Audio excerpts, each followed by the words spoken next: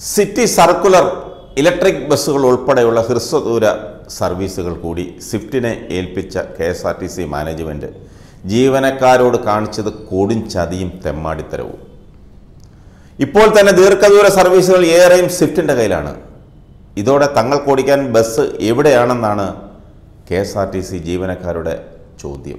തിരുവനന്തപുരത്ത് കഴിഞ്ഞ ദിവസം ആരംഭിച്ച city circular electric bus service സ്വിഫ്റ്റിനെ ഏൽപ്പിച്ചതോടെ രാവിലെ പതിവ് പോലെ എത്തിയ ജീവനക്കാരിൽ പലർക്കും ഡ്യൂട്ടി ലഭിച്ചില്ല.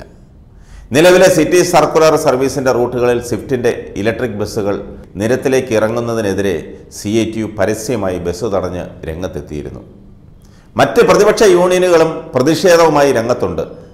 കഴിഞ്ഞ ദിവസം സർവീസിന്റെ ഉദ്ഘാടനം കനത്ത പ്രതിഷേധത്തിനിടയിലാണ് നടത്തിയത്. സ്വിഫ്റ്റ് ബസ് എടുക്കാൻ വന്ന ഡ്രൈവറെ പ്രതിഷേധക്കാർ തടഞ്ഞു. സമരക്കാരെ പോലീസ് കസ്റ്റഡിയിലെടുത്തു.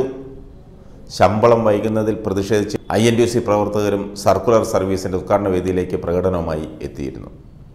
ഏവരെയും പോലീസ് ഇടപെട്ട് നീക്കി. ജൂണിലെ ശമ്പളം ഭൂരിപക്ഷം ജീവനക്കാർക്കും ഇനിയും കിട്ടിയിട്ടില്ല.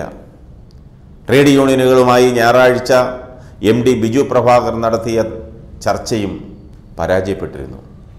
അതിനിടെ ഉദ്ഘാടനത്തിനെത്തിയ മന്ത്രി ആന്റണി രാജു നടത്തിയ അഭിപ്രായ പ്രകടനം ജീവനക്കാരെ കൂടുതൽ പ്രകോപിതരാക്കി.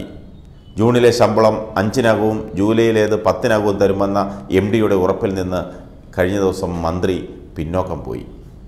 ജീവനക്കാരുടെ പ്രതിഷേധം ശ്രദ്ധയിൽപ്പെട്ടിട്ടില്ലെന്ന് പറഞ്ഞ മന്ത്രി ശമ്പളം നൽകുന്നതിൽ തീരുമാനമെടുക്കേണ്ടത് മാനേജ്മെന്റാണെന്നും പണം ലഭ്യമാകുന്ന മുറയ്ക്ക് ശമ്പളം കൊടുക്കാൻ പറ്റുള്ളൂ എന്നുമാണ് ഉദ്ഘാടന സമയത്ത് പറഞ്ഞത്.